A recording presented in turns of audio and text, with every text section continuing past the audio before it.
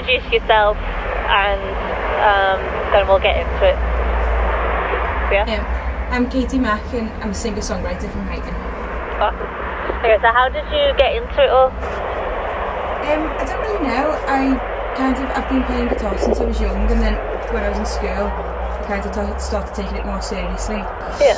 Um, yeah, and then about 18 months ago, I got this band together, and I moved home back to my mum and dad's, like, and then um, now I've just been like touring the UK and carrying on and doing everything myself, just totally me. So, how are you, how are you finding like being with like a band of boys all of a sudden? Like, how is that transition for you? No, the boys are really nice. It's like I think um, we all get on really well, and we've all been friends for a long time. Yeah. So I definitely think I made the right right choices asking who I did to come and play with me. Um, that's fine. I do, it doesn't really bother me them being boys, except for the organisation kind of stuff.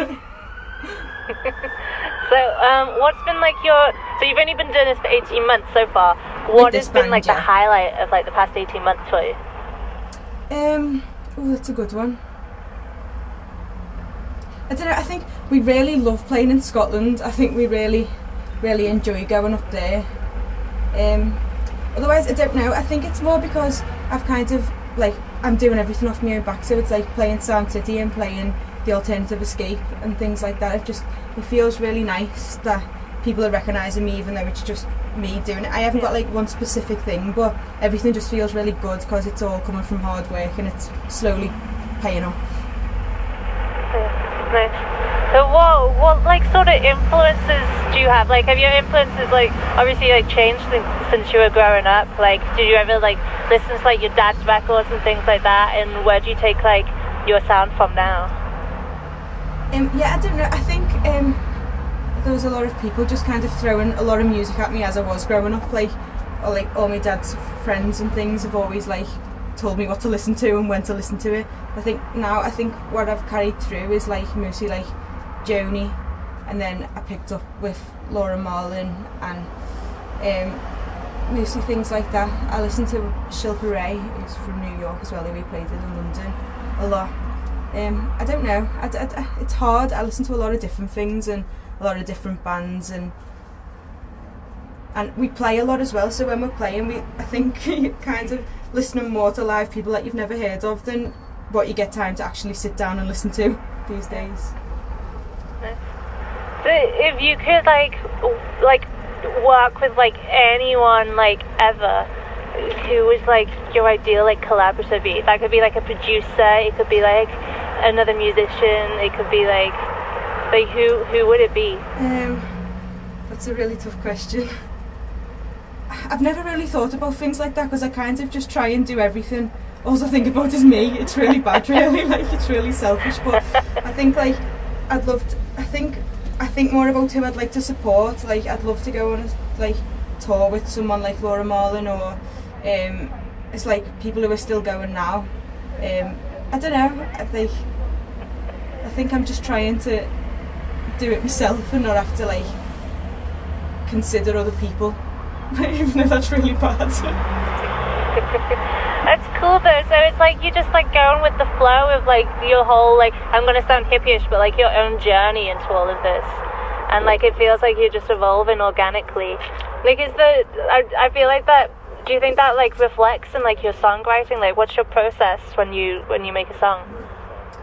Um, I always used to say that the words came first but recently it doesn't feel as much like that. Um, I think now because it is like well a full-time job I just sit and play and like see what comes to me. Like every song still means something like really specific to me but it kind of just comes a bit I've kind of because I don't have to like like I used to do like music Monday where something would have to come on a Monday whereas now because I've just got every day to just sit and play it's a little bit more like guitar and um, singing comes at the same time. I just kind of whatever I play feels right for the words that I start to sing yeah and then obviously as the band comes later like that's another that's a different story altogether if you could like play anywhere or like even live anywhere like if you were just like given the option to just like move like to like amsterdam or something or like berlin like where would your ideal place to be like and then you could like do local gigs there. Um, I think the only place that we've ever said that we would seriously move to is like Barcelona. I Oh, think yeah. I know we've had, we've had so many holidays there, but we just really love being there. I think that's I'd probably just stick to that one for now. Nice, nice. So, um, uh, have you got any tour dates coming up? Um, not really at the moment. We're just basically doing festivals. So Yeah. I'm at the Alternative Escape next Thursday, um, Sound City the week after, and then we're doing a festival in Brighton on the 19th of August, and then we go back to Belgium then at the end of August, and that's it for for right now. So, what what's your current project? You got a single coming out soon? Yeah, we've got a single coming out on the 5th of June, which isn't very long now. Just a single, yeah. It's called Into the Wild. Awesome. Okay, so what is the song you're going to play for, for K2AV? That is also Into the Wild.